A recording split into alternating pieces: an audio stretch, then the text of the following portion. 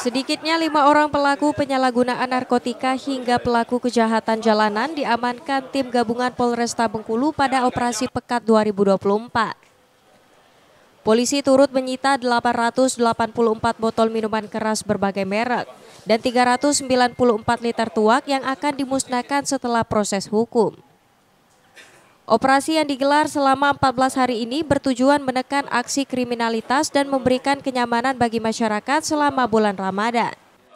Kegiatan operasi penyakit masyarakat ini dengan target adalah minuman-minuman keras, ya.